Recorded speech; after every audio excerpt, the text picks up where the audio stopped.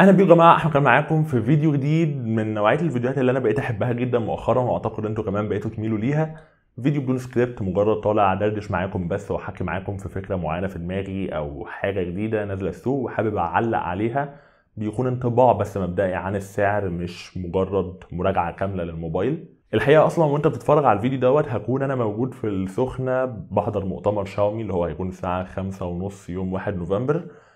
دوت اللي هيعلنوا فيه عن ال Poco X 3 النسخة ال NFC واحد من أكتر الموبايلات اللي إحنا مستنيينها في مصر بقالنا فترة طويلة جدا وكلنا متحمسين إن إحنا نعرف السعر الرسمي بتاعه.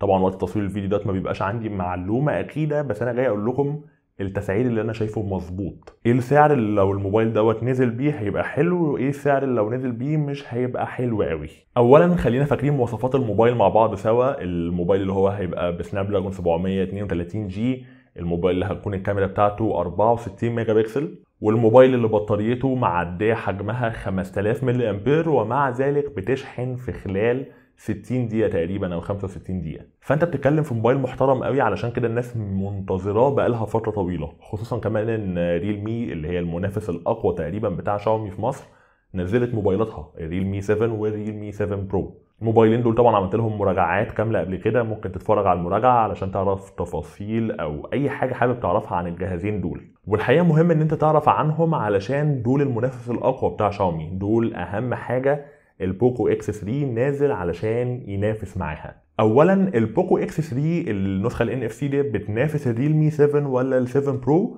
من خلال المواصفات بتاعته يمكن يكون منافس لل Pro أكتر شوية. لأن أنت عندك مثلا موضوع الكاميرا الخلفية ال 64 ميجا بكسل دوت أنا أعتقد من خلال المواصفات وال sensor اللي أنا شايفه فهتبقى في نفس مستوى الريلمي 7 Pro يمكن أحسن شوية يمكن أقل شوية. دي حاجة هنحتاج نعرفها أكتر لما نجرب الموبايلات بنفسنا ونقدر نحكم عليها بشكل أحسن. معالج Snapdragon 732 G المفروض إن هو حصل فيه تطور عن ال 730 G والمفروض إن هو يعتبر نسخة أقوى شوية إلى حد ما بس أنا لحد دلوقتي شايف إن كل المعالجات اللي في السعر دوت قريبة جدا من بعض. سواء أنت بتتكلم على ال 732 G بتتكلم على ال 730 G ال 720 G تقريبا الأداء هيكون متقارب ما بينهم قوي. برضه MediaTek عندها ال Helio G 95 دوت يعتبر تقريبا أقوى معالج ليهم في السعر دوت بينافس مع المعالجات ال Snapdragon اللي موجودة في نفس الفئة. ودوت اللي بيستعمله هو الريلمي 7 بس وعلشان كده برضو الطريقة بتاعت معالجة الصورة ومعالجة الألوان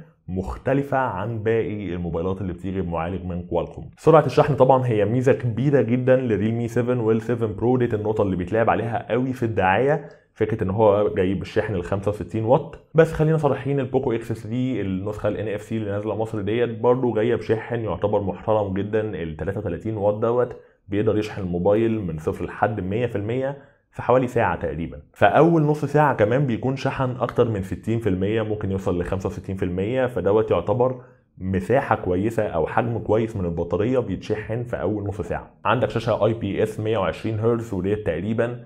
أول شاشة 120 هرتز نجربها في مصر. بس طبعا هي شاشة IPS مش AMOLED فأنت مش هتاخد نفس ال contrast اللي موجود مثلا في شاشة زي بتاعة الريلمي 7 Pro هتكون شاومي أسرع في ال refresh rate ومناسبة أكتر للألعاب الشاشة ديت.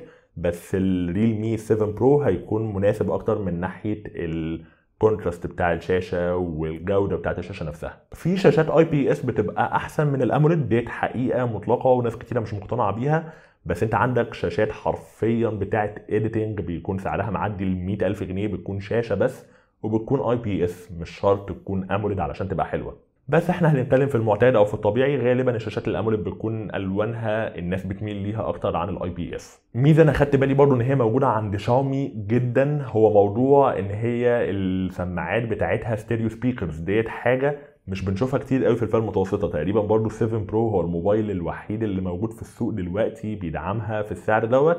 فإن شاومي تضيف نفس الميزة ديت حاجة هتساعدهم جدا في المنافسة. حسيت إن الفيديو دوت قلب على مقارنة شوية بس ديت طبعا مش مقارنة كاملة بين الجهازين لأن أنا لحد النهارده ما جربتش الشاومي Poco X 3 لمدة طويلة إن هو أقدر أعمل له مراجعة أو أقدر أحكم عليه بشكل كامل. بس دوت فيديو قرايتي للسوق من خلال المواصفات وقرايتي لأقوى منافسين تقريبا أو أقوى جهازين ممكن تشتريهم أنت في السعر ده. ودوت يرجعنا لأهم نقطة تاني وهي تسعير الشاومي. إحنا عرفنا الأسعار بتاعت ريلمي وعرفنا هي موجودة بكام بالظبط والهدايا بتاعتها إيه بالظبط. ريلمي ريلمي 7 Pro عامل حوالي 5000 جنيه تقريبا والريلمي 7 العادي عامل حوالي 4600 وديت أسعار مناسبة لكل جهاز فيهم. كل موبايل بيقدم مواصفات كويسة على السعر بتاعه دوت. الفكرة إن شاومي عندها موبايل دلوقتي المفروض إن هو على الورق بينافس الريلمي 7 Pro.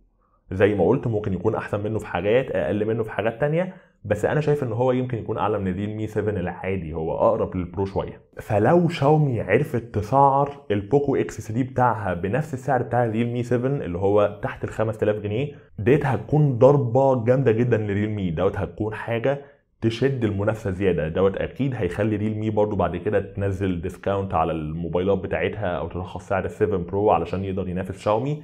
بس ديت هتكون ضربة قوية من نزول شاومي بسعر كويس قوي زي كده. لو الموبايل نزل بأغلى من 5000 جنيه هو ما زال يستاهل ده. الموبايل يستاهل لحد 5500 ويمكن يستاهل لحد 6000 جنيه كمان على حسب الهدية برضو اللي هتتحط معاه مع ال pre-order الموبايل قوي ومواصفاته تخليه واحد من أحسن الأجهزة اللي ممكن تشتريها في السعر دوت. بس أنا دلوقتي مش بتكلم على تسعير كويس أنا عايز تسعير فوق الممتاز. عارف إن هو نازل ينافس الريلمي 7 وال7 برو بس مش عارف هينزل في أنهي سعر ما بينهم بالظبط. لو أنت بعد ما تتفرج على الفيديو دوت ودخلت على الإنستجرام عندي هسيب لكم ال link في ال description بتاع الفيديو.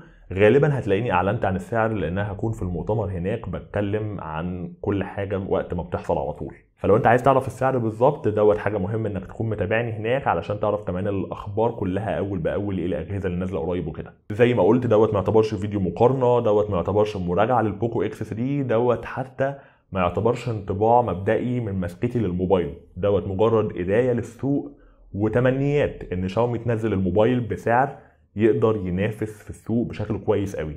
مش بتتكلم على حاجة تعمل لك منافسة كويسة بس لا انت عايز منافسة جبارة. فأنا مستني بصراحة أشوف شاومي هتعمل إيه بالظبط وهتنزل الموبايل بكام. ولحد ما أنت تعرف السعر أو قبل ما تعرف السعر قبل ما تخش على الإنستجرام عندي حط السعر اللي أنت متوقعه أو اللي أنت بتتمناه في الكومنتات. لو عجبك الفيديو دوت ما تنساش تعمل thumbs up وتعمل subscribe علشان تتفرج على أي فيديو هنزله بعد كده واللي غالبا إن شاء الله هيكون فيه مراجعة كاملة لموبايل شاومي الجديد البوكو وبس كده. كالمعتاد كان معاكم أحمد كمال من إيه ريفيو. استني في الفيديو الجاي.